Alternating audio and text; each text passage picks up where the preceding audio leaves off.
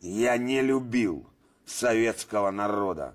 Дискуссии о жидах колбасе я не любил любое время года. Ведь пили и болели тут во все. И это чувство, что порвали парус, а в скорости кирдыка кораблю. В те времена я был уверен, каюсь, что это никогда не полюблю. И я не любил кровавых девяностых. Страны распотрошенное нутро, братковский черный мрамор на погостах, бюджетников, торгующих в метро, войну в Чечне, поддельную свободу, в ларьке поддельный Кюрасао Блю, верховную крапленую колоду, и знал, что сроду их не полюблю. Я не люблю единую Россию и всех, кто дал себя употреблять, привычных и к насилию, и к бессилию, и к травле, и к затравленности, и выдачу бабла электоратам.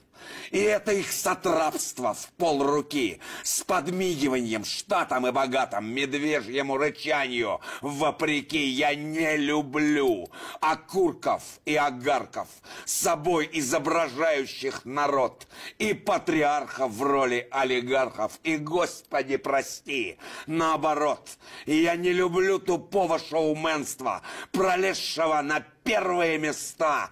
Я не люблю Максимова и Эрнста, и Белого, сыгравшего Христа. И я не люблю поэта с гражданином и их еженедельное кино. Они с подачи Путина даны нам, иначе их прикрыли бы давно. И всех иных, кто рожу скосоротев, в кармане фигу делает Кремлю.